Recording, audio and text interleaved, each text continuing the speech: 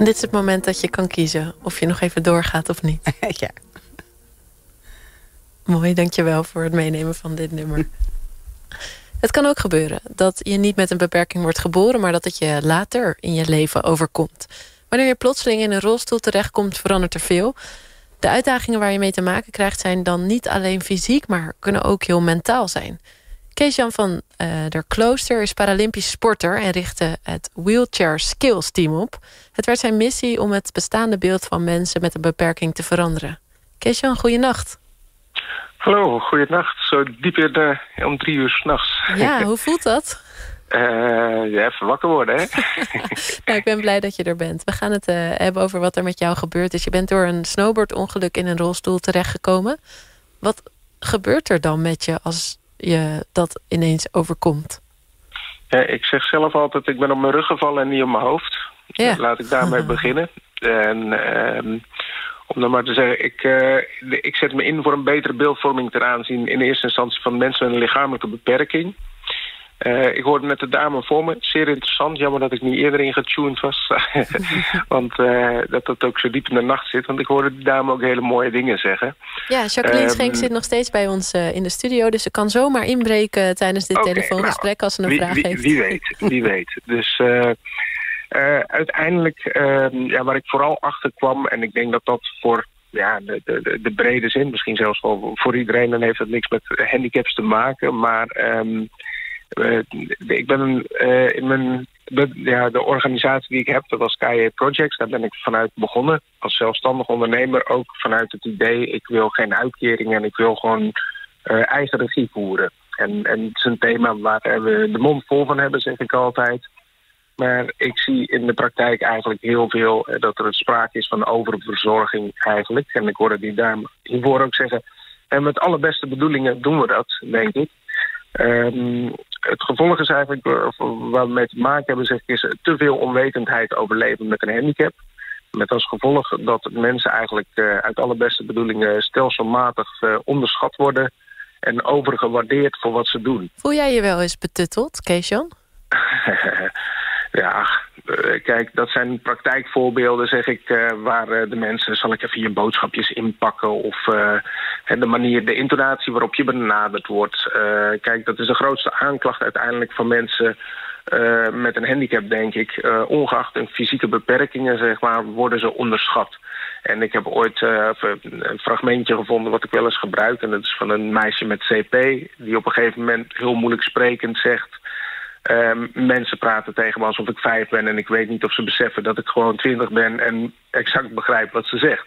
Wat is uh, um, CP? En, uh, sorry? Wat is CP? Uh, cerebrale parese. Dus dat is iemand die, die, die spastisch is. En dat kan in verschillende varianten zijn. Hè? Dus, maar ik hoor dan bij haar, bij het voorbeeld van jou... en bij wat je noemt over dit meisje... ook een soort irritatie.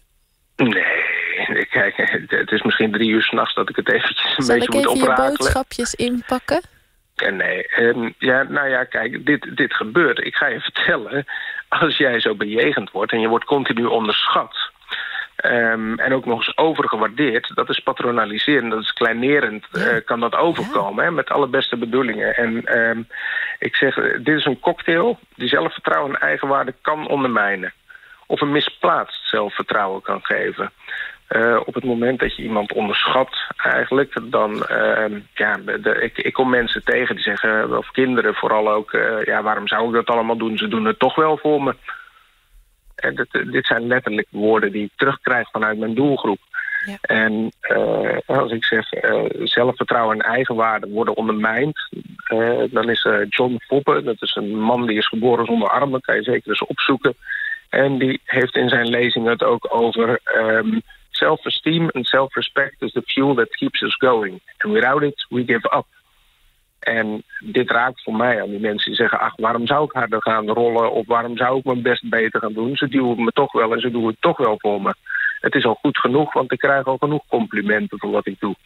Dus daarin zie je eigenlijk dat er een klimaat ontstaat... waarin die mensen, wat ik zeg, uh, zich overgeven aan die zorg... Uh, ze hebben daar nog altijd de vrije keuze om daaruit te stappen. Maar als je het dan hebt over hoe heb jij dat ervaren... Um, je klinkt een beetje geïrriteerd. Mooi dat je dat zegt. Uh, als ik uh, twee, drie keer hulp aan, of afwijst, bijvoorbeeld bij mensen. Dan komt er iemand naar je toe en zegt: Oh, zal ik het even dragen? Oh, dat hoeft niet, ik wil het graag zelf doen, dat is prima. Ach, doe niet zo moeilijk, het is toch makkelijker als ik het doe. Nee, ik wil het graag zelf doen, bedankt voor je hulp. Ach man, ga eens aan de kant, doe niet zo moeilijk en laat mij eigenwijze lul. En dat is, dat is eh, de andere kant. Wie is er dan geïrriteerd? Ja, dat uh, lijkt me niet per se een hele leuke ervaring. Wat zou je dan uh, Nederland uh, aanraden? Wat, wat is er nou een goede houding?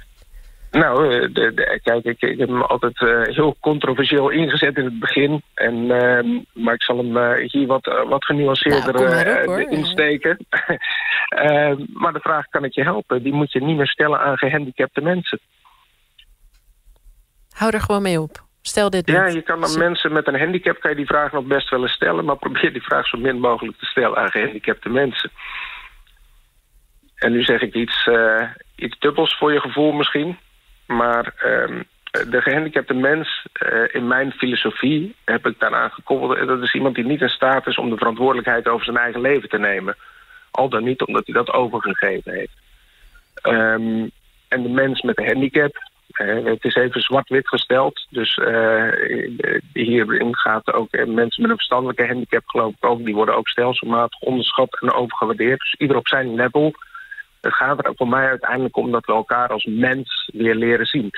Um, het, het, is een stigma-beeld dat je gehandicapt bent, niet zoveel meer kan, enzovoort. Um, je komt met een taxibusje of het is een beetje zielig. Uh, dat zijn allemaal beelden die om je heen hebben. En als jij in dat stigma gaat geloven, als je een minderheid bent, en dat is in dit geval mensen met een handicap, maar ik zeg dan word je een gehandicapt mens. En dan vergeet je dat je in de eerste plaats mens bent. Jij bent niet dat concept. Er zijn duizenden soorten handicaps. Het is voor niemand mogelijk om in te schatten wie wat wel kan. Uh, maar het gevolg is wel uh, dat je jezelf eigenlijk weg gaat cijferen... en maar gaat gedragen naar het verwachtingspatroon. Ja. Nou, kijk om je heen in de maatschappij. Ik denk dat we veel te veel uh, met stigma's te maken hebben. En uh, dat het tijd wordt dat we elkaar gewoon weer eens eventjes gaan zien als mens. En wat dat betekent, wat daarbij komt. Praat tegen de mens en niet tegen de handicap. Ja, exact. En, uh, en, en dat, dat zou je kunnen zeggen over iedere groep die leidt onder een stigma... of waar een stigma opgeplakt wordt. Kijk, als ik politici tegenkom en ik vertel dit verhaal...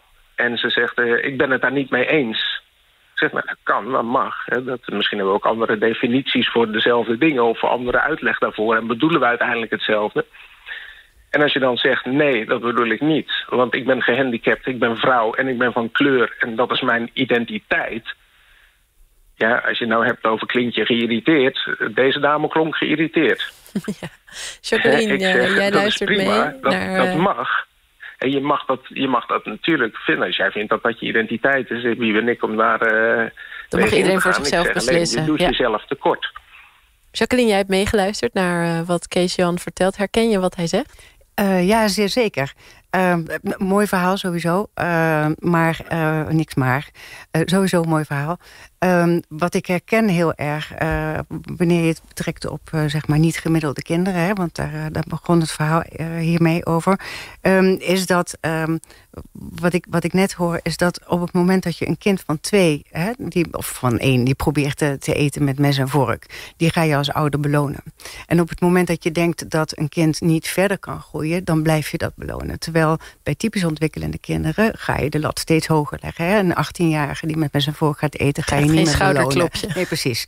Um, maar en, en voor het groeien van zelfesteem, hè, waar, waar het net over ging... daar heb je moed voor nodig. Daarvoor moet je dingen durven doen. Moet je de ruimte krijgen om hè, bepaalde dingen te, te gaan doen. En dan ja. komt de beloning wel. Maar als jij de ruimte niet krijgt om een keer van een klimrijk af te vallen... of om een keer hè, jezelf te snijden, bij wijze van spreken... natuurlijk moet je als ouders wel de veiligheid enigszins bewaken... maar um, je moet de mogelijkheid krijgen om te leren van je eigen gedrag. En op het moment dat dat goed gaat, van iets wat je durft...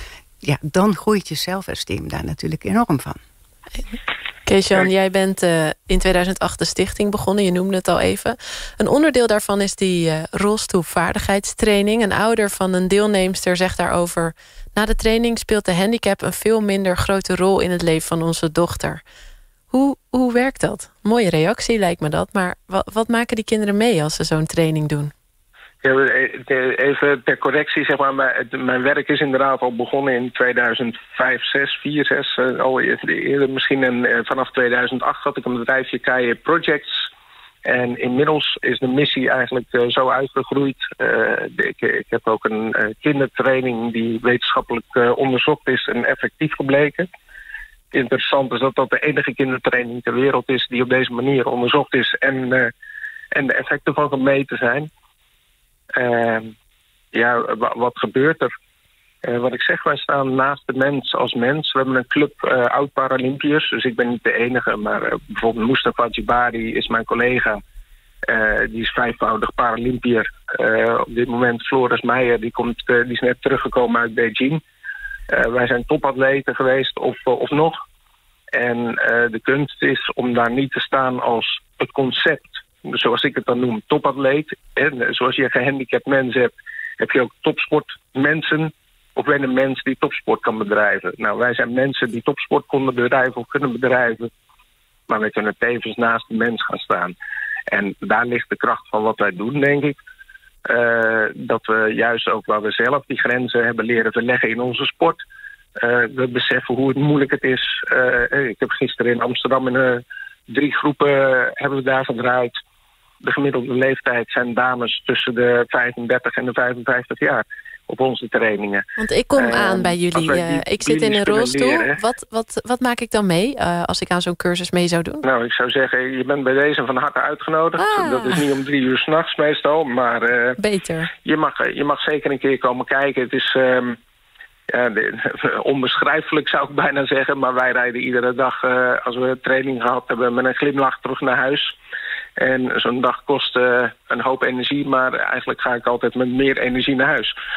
Um, dit is wat mensen voor elkaar kunnen betekenen. En als je werkelijk vanuit je hart werkt, dan, uh, ja, dan merk je dat, je dat je daar heel veel energie van krijgt. Dus, uh, kan je iets vertellen over wat jullie doen met elkaar? We gaan, we, gaan, we gaan lekker rollen, klinkt, uh, klinkt heel plat. Uh, ik zeg, we zijn gespecialiseerde deskundigen mm die um, ja, naar een mens kijken. En dan gaan kijken, hoe krijg ik dat zelfvertrouwen bij die mens... En dat zelfrespect vooral voor, die, van die, voor zichzelf. daar begint het mee. Op het moment dat ik dat heb en je weet iemand te stimuleren... en die kan die stap maken om inderdaad iets te doen waarbij die ziet van... hé, hey, maar ik kan dit wel. Um, ja, dan, dan gaat de rest bijna vanzelf, zou ik zeggen. Het is uh, het trucje aan zich, ja, je moet de technieken goed kennen. Dus, en je moet verstand hebben van verschillende soorten handicaps. Door de tijd heen leren we dat. En, uh, en dan, dan ga je aan de slag. heel veel betekenen voor het uh, leven van kinderen en mensen die bij jou komen.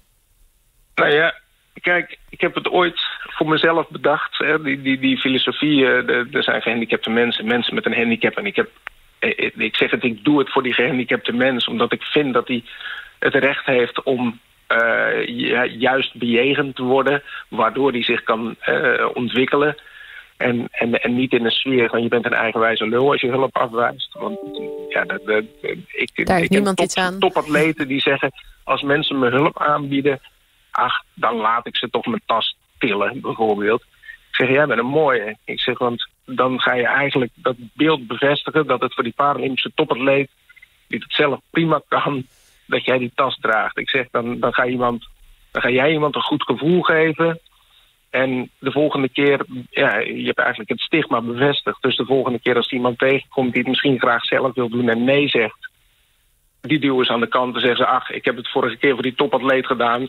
Die wilde dat ook. Dus het is toch makkelijker als ik het doe. Ze stampen over je heen. Dat, is, dat is wat er gebeurt. Dat is wat en, ik ook hoor uh, Met alle beste bedoelingen. Uh, niet alles wat goed bedoeld is, heeft het juiste effect. Nee. En zo was mijn vriendin ooit op zondagochtend... me aan het verrassen door mijn auto te wassen. Alleen uh, toen ik buiten kwam, stond ze met de groene kant van zo'n geel-groen sponsje... de vlieger van mijn motorkap af te boenen. Ik zeg op school wel eens als ik voorlichting geef... dat moet je maar eens doen bij je vader. En dan moet je maar eens kijken of die vrolijk wordt. Ja, ik snap dat, dan doe je het expres. Goed bedoeld, uh, zeker goed bedoeld. Maar... Ik, heb het gas in mijn lak gemaakt. Uh, dat is niet zo erg. Ik, uh, ik hou niet zo van materialisme, dus het, ik kan er overheen komen. Maar uiteindelijk zeg ik, als je mensen met een handicap bijvoorbeeld te veel hulp aanbiedt... ik zei net heel zwart-wit, je moet die vraag niet meer stellen. als het gaat over eigen regie, Eh, als ik jou vraag, je veten zitten los, zal ik je even helpen? Wat zeg je dan? Nou, hoeft niet. Nee, dank je. Op het moment dat ik jou zeg, hé, hey, je veters zitten los, gaat het lukken? Dat is iets anders. Dan heb je nog Op het meer een moment dat ik die hulpvraag stel, moet iemand eh, die dit hulpaanbod krijgt, moet iemand vriendelijks afwijzen. Hoe minder overtuigd jij bent van jezelf, hoe minder overtuigd ook jouw antwoord zal zijn wanneer je het zelf wil doen. Hè, dus dat komt dan misschien ook een beetje twijfelachtig over. En hoe meer kans je hebt dat daarna iemand over je heen stapt en zegt: Ach, doe niet zo moeilijk, het is makkelijker als ik het doe. Hè, dat, ehm, Geef dat elkaar is eigenlijk voor mij een beetje de kern waar, waar we moeten gaan kijken van hoe gaan we daarmee om. En als jij gewoon zegt: Hé, hey, lukt het alles goed of gaat het? Dan ligt het ook bij die persoon in handen om die hulpvraag te stellen. Ja, mooi, je brengt Eh, het eh, mooi onder woorden, Kees-Jan. Ik wil je danken voor het delen van jouw ervaring... en eigenlijk een beetje deze oproep aan eh, iedereen in Nederland...